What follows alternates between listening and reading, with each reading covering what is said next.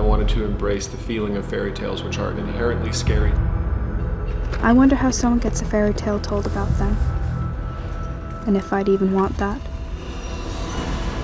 Gretel starts off being very sort of yoked to her younger brother, and it's about the elemental fear of loss of innocence, being turned out into the world before you're ready.